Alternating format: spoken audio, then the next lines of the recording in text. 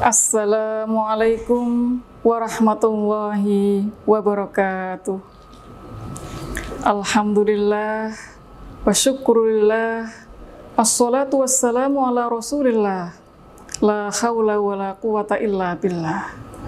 Para pemirsa rahimakumullah Saat ini kita telah memasuki bulan Ramadan.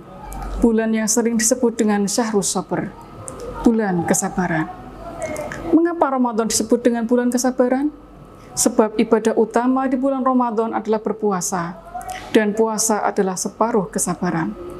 Rasulullah Shallallahu Alaihi Wasallam bersabda, "As-saumu nisfus sabar." Puasa itu separuh kesabaran. Para pemirsa rahimakumullah, makna sabar adalah tahan terhadap cobaan. Sabar merupakan kemampuan mengendalikan diri dan mencerminkan jiwa yang kokoh.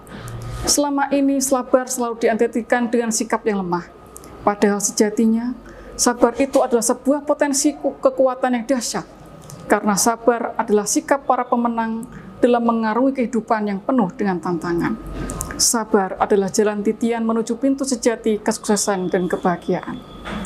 Dalam sebuah hadis dijelaskan bahwa sabar itu ada tiga macam.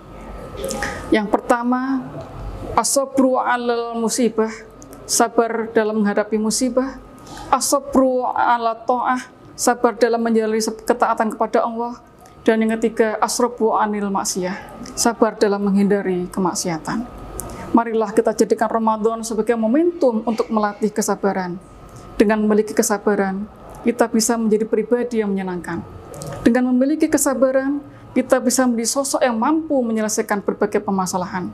Dan dengan memiliki kesabaran, akan terbentuk jiwa yang kuat, tidak mudah tergoncang oleh terpaan badai bak kehidupan laksana kebatu karang di tengah lautan.